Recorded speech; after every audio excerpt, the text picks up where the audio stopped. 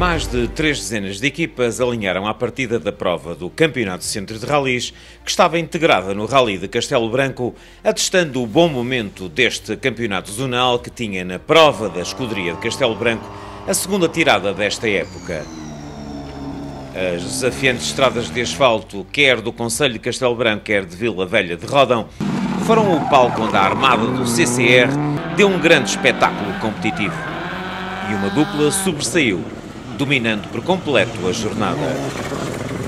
Aos comandos do seu novo Mitsubishi Mirage Evo, André Cabeças e Bino Santos deram o recital de condução limpando todas as tabelas de tempos, ao triunfarem nas quatro especiais de classificação que foram percorridas, num total de quilómetros contra o cronómetro, que ultrapassou as cinco dezenas.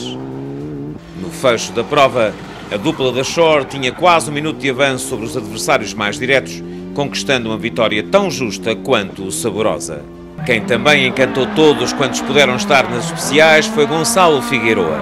Navegado por Paulo Fiusa, o piloto do Forscore MK2 foi igual a si próprio, aliando rapidez à sua capacidade para ser exuberante na condução e terminou num excelente segundo lugar, mas não sem protagonizar uma luta sem tréguas com Rui da Silva Santos e João Sebastião, sempre muito rápidos com o Subaru Empresa, mas que viram a sua prova arruinada mercê de problemas mecânicos no carro nipónico, que os levou a penalizar dois minutos e meio, perdendo um pódio quase cantado.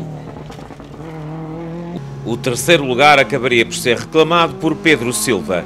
O jovem de Vila Velha de Rodão está a assinar um indício de época fulgurante, extraindo um ritmo endiabrado do seu Peugeot 208 R2 VTI e aproveitando toda a experiência do seu navegador mundialista Nuno Rodrigues da Silva.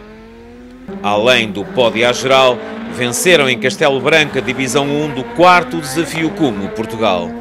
6,8 segundos atrás dos terceiros, a dupla Ricardo Coelho-Pedro Santana assegurou o quarto posto e voltou a brilhar com o Toyota Starlet.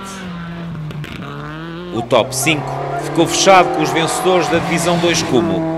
Miguel Carvalho e António Reis vieram desde o norte para impor um andamento musculado aos comandos de um Peugeot 206 GTI.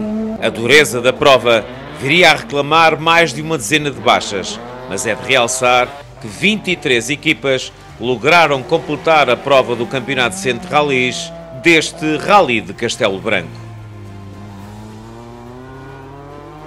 O Campeonato Centro de Rallys vira agora agulhas para os pisos de terra, mas continuará a ser a escuderia de Castelo Branco a deter a batuta organizativa do próximo desafio do calendário.